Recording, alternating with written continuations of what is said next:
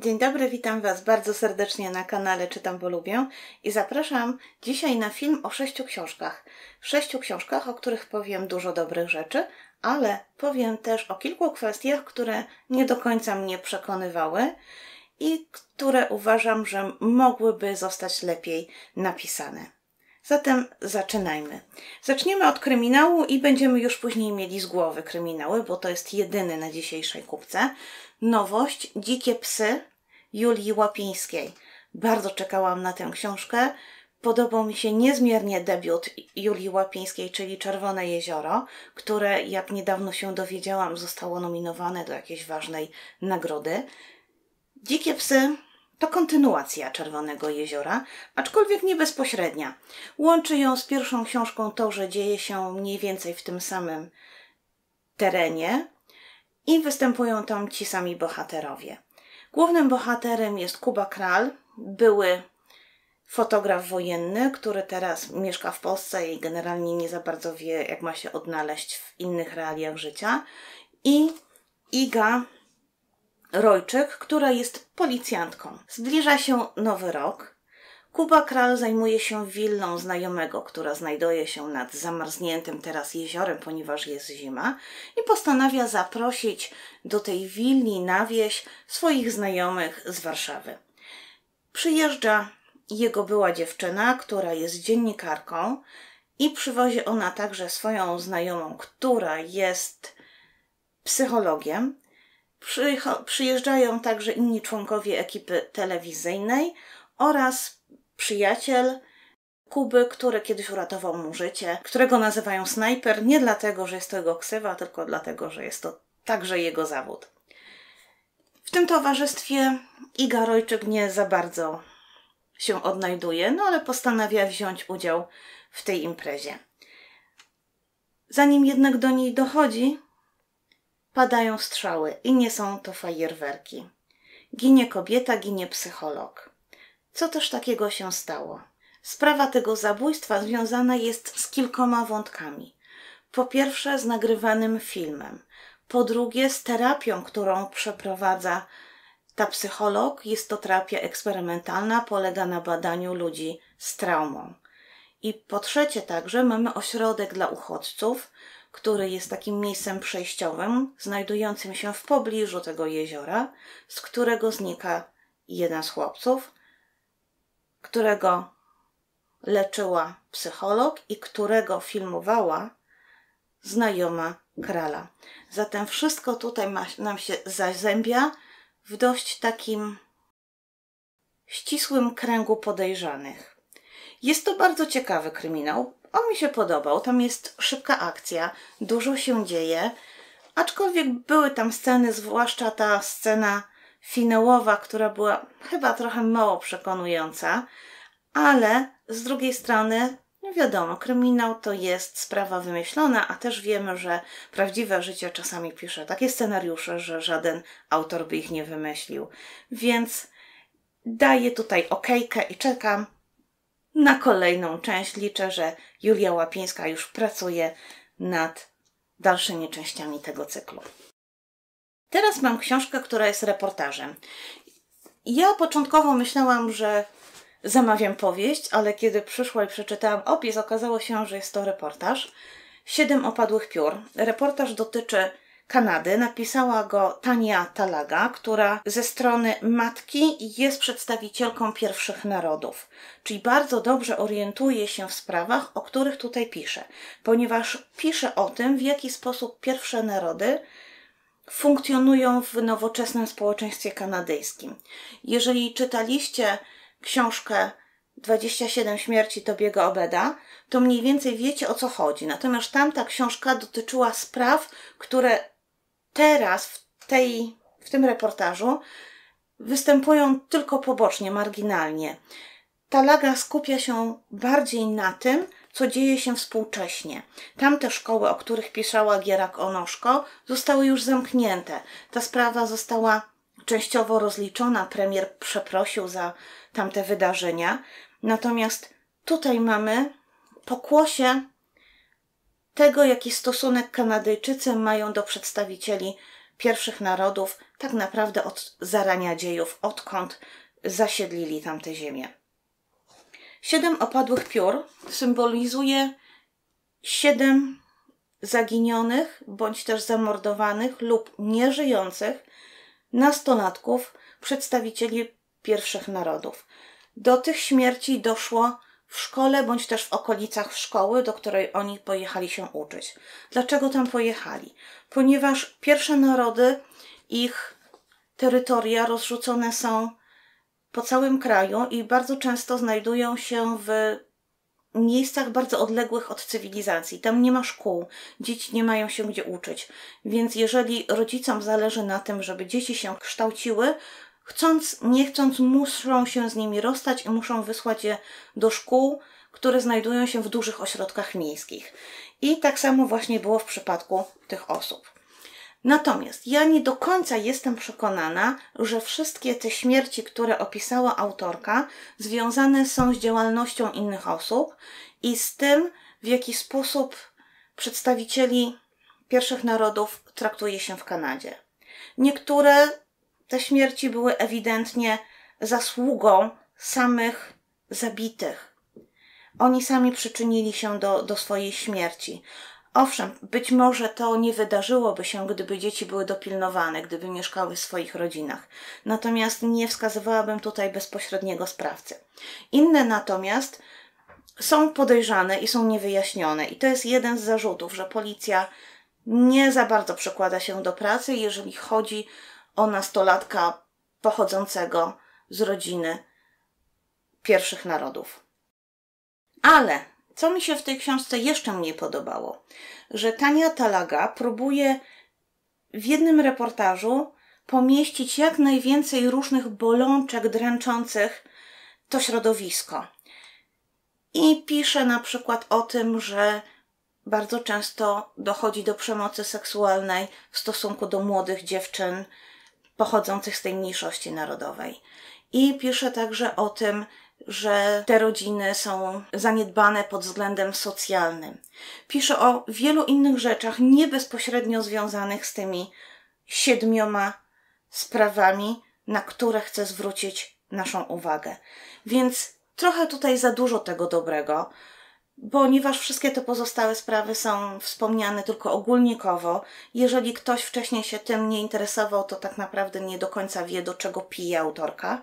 Ja na szczęście dość sporo ostatnio czytałam o Kanadzie, tak się złożyło, więc orientowałam się, o czym ona w ogóle mówi.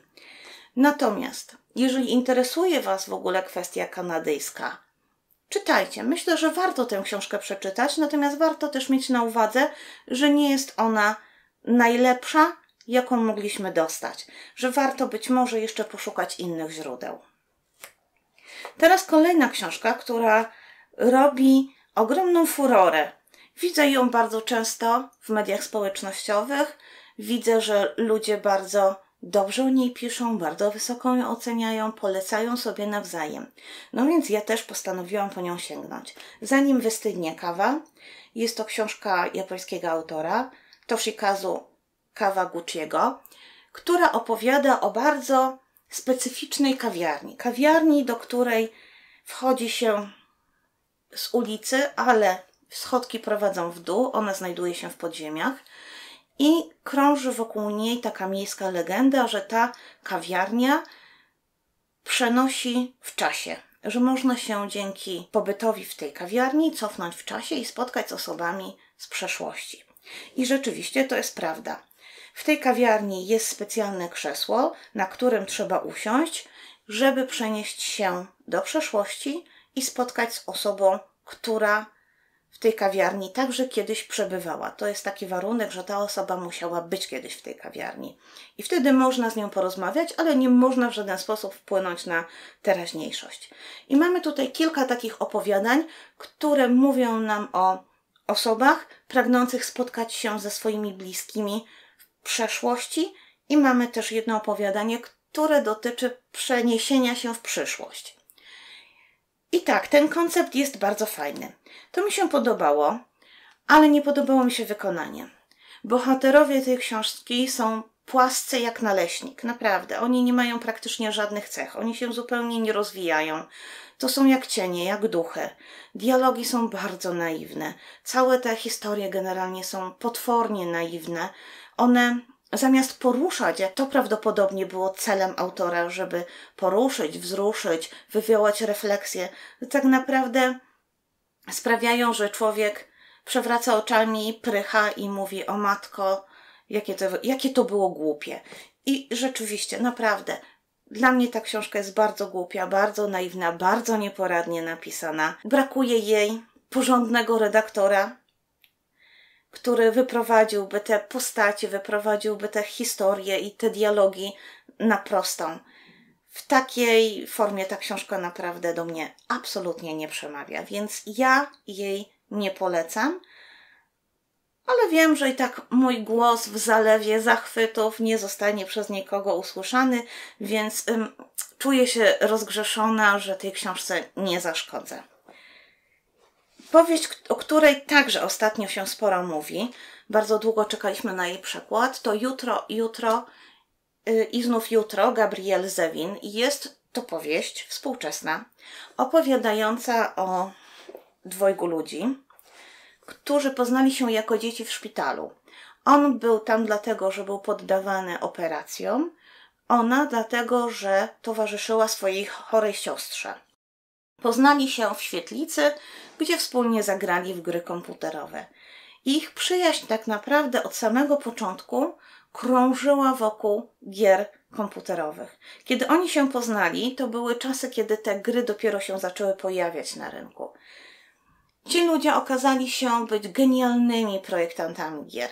Kiedy dorośli, kiedy zaczęli studia, postanowili stworzyć swoją grę. Oni się przez cały ten czas przyjaźnili, raz bardziej intensywnie, raz mniej intensywnie, ale cały czas spotykali się. Kiedy natomiast postanowili napisać swoją wspólną grę, praktycznie ze sobą zamieszkali w mieszkaniu należącym do współlokatora tego chłopaka, czyli zrobiła się ich trójka, było ich troje i ten współlokator ogarniał wszystkie życiowe sprawy za nich, ponieważ oni byli tak pochłonięci pracą twórczą, pracą kreatywną, że nie dbali o przyziemne potrzeby, czyli na przykład o to, żeby coś zjeść czasami czy się wymyć. Więc ten chłopak został takim ich menedżerem i ogarniaczem. To wszystko potoczyło się w takim kierunku, że oni zostali zawodowymi projektantami gier, założyli swoją firmę i, i te role pozostały niezmienne. Ten chłopiec, teraz już dorosły mężczyzna, który wcześniej ogarniał, w dalszym ciągu ogarniał dla nich warunki życia, a oni tworzyli.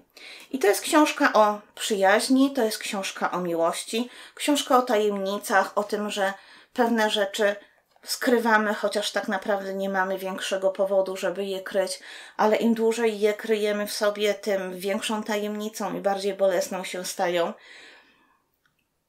To jest książka, którą warto przeczytać. Ona ma swoje minusy, ale wydaje mi się, że jako taka historia właśnie o, o przyjaźni, o niespełnionej miłości, książka o komplikacjach życia codziennego, jak najbardziej może Wam się spodobać. Ona niczego nie urywa.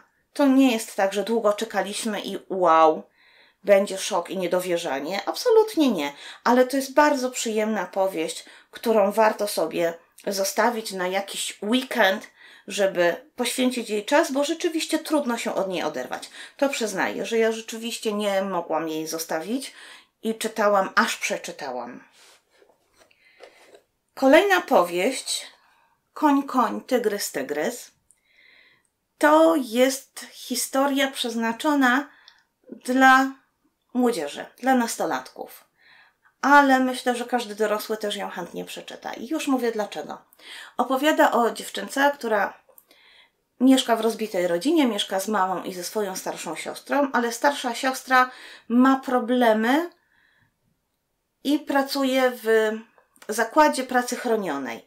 Ona generalnie jest w dużym stopniu zaradna, ale potrzebuje cały czas opieki. I ta młodsza siostra, ta dziewczynka, którą tutaj widzimy na obrazku, bardzo często swoją starszą siostrą musi się zajmować. Ale ta dziewczynka też uważa, że ma ze sobą jakiś problem, ponieważ czasami robi rzeczy, których nie planowała, czasami daje się ponieść nurtowi zdarzeń. I tak pewnego razu wsiada do autobusu, chociaż nie planowała jechać w tamtą stronę, znajduje się w miejscu, którym nie planowała być, daleko od domu i zostaje pomylona z kimś innym. Pewien pielęgniarz myśli, że jest wnuczką mężczyznę mieszkającego w hospicjum i zabiera ją na wizytę. Od razu wiadomo, że to nie jest wnuczka, ten mężczyzna, ten dziadek. Poznaje, że to nie jest wnuczka, oczywiście, ale zaczynają ze sobą rozmawiać. I to zmienia się w bardzo piękną przyjaźń, którą ta nasza bohaterka nie wiadomo dlaczego przed wszystkimi ukrywa. Ona wymyka się z domu, żeby pojechać tam do tego starszego, umierającego mężczyzny, żeby mu potowarzyszyć. Mają jeden wspólny projekt, który próbują doprowadzić do końca przed jego końcem, ponieważ wiadomo, że ten koniec bardzo szybko się zbliża.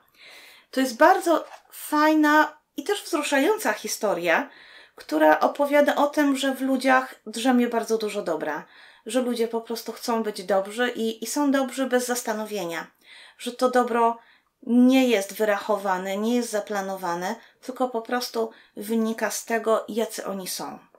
Także czytajcie Koń, koń, tygrys, tygrys. Przepiękna opowieść, którą powinniście mieć i powinniście poznać.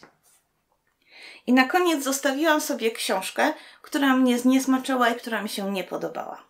To jest książka pod tytułem Mama od Tortur, napisana przez Ryana Greena i opowiada o Gertrude Baniszewski, o której ja już wcześniej czytałam. To nie była dla mnie postać nowa. Ja już tę historię dość dobrze znałam wcześniej.